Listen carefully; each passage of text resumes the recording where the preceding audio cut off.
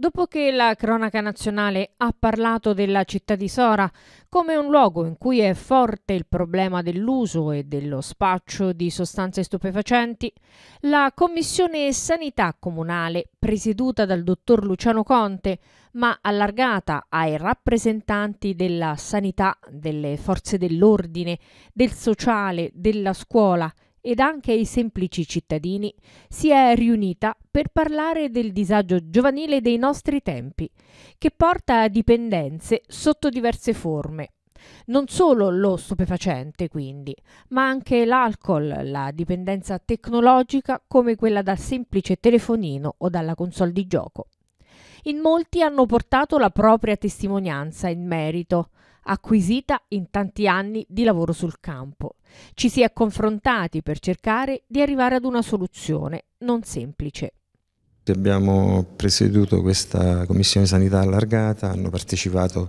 per fortuna tantissime persone, sono stati toccati temi molto importanti. Abbiamo soprattutto stressato la problematica del disagio giovanile, eh, manifestatosi sia con la dipendenza da sostanze, dall'uso di alcol, le ludopatie e anche le nuove dipendenze tecnologiche da cellulare e altri giochi. Sono intervenute persone, hanno portato la loro, la loro esperienza e le loro proposte per eh, come dire, rafforzare le azioni di educazione, di prevenzione, di cura, di presa in carico e anche di contenimento. Eh, gli interventi sono stati tutti molto interessanti, eh, è sicuramente un primo passo e cercheremo di rendere come dire, più praticabile, un aiuto a tutti quelli che ne hanno bisogno, che va dalla famiglia alla persona che fa uso di sostanze oppure che subisce una dipendenza. Uh, è chiaro che in una famiglia un, un, ragazzo che fa uso di sostanze spacca e rovina davvero la, il futuro di tutta una famiglia e tutta questa famiglia uh, rovina in un, in un certo modo la nostra società e la nostra città eh, vogliamo essere di, dire, di, aiuto per un'azione di contenimento, eh, un aiuto sinergico fatto da tutte le figure che si sono occupate da anni di queste problematiche e sono riuscite ad arginare, a reinserire e a salvaguardare eh, una certa quantità di nostri giovani. Questo è il nostro intento, ci rincontreremo credo presto. Eh, la Commissione Sanità così allargata è nata perché la nostra città è assunta alla cronaca di nazionale per episodi abbastanza importanti, il fatto di trovare delle siringhe che possono essere anche infette, quindi vettrici di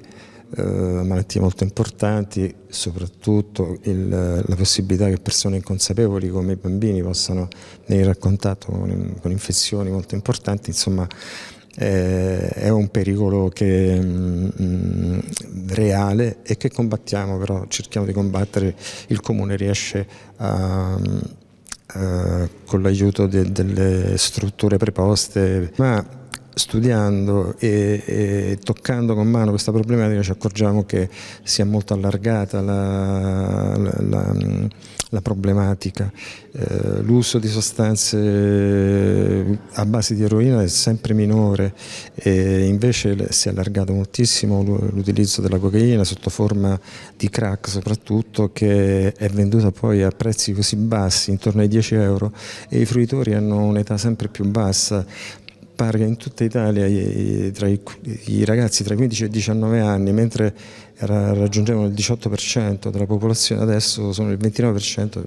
29%, questo da un'indagine fatta dal, dal, Ministero della Sanità, quindi eh, stiamo parlando di un numero molto grande di, di, ragazzi che vengono a contatto con queste sostanze. L'importante non è che tutti poi una volta venuti a contatto continuano questa storia, ma bisogna cominciare a diffondere e far sapere queste notizie perché l'aiuto delle associazioni delle scuole, delle forze dell'ordine, del comune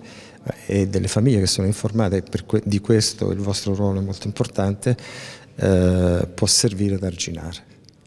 A livello locale è doveroso mettere in atto azioni mirate a contrastare questi fenomeni e a realizzare misure di prevenzione sociale focalizzate su situazioni specifiche